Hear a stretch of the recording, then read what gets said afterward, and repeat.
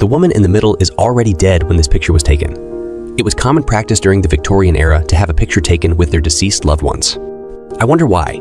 Some say it is because having your photo taken is quite expensive. Blanche Monnier, a middle-aged woman who was imprisoned by her own mother for 25 years, was rescued by the police after an anonymous tip in 1901. Major General Horatio Gordon Robley, posing with severed heads of the Maori people. These heads are displayed as trophies and belong to fallen warriors called Mokomokai, New Zealand 1860s. Firefighters respond to a fire in Chicago during an icy winter, 1900s.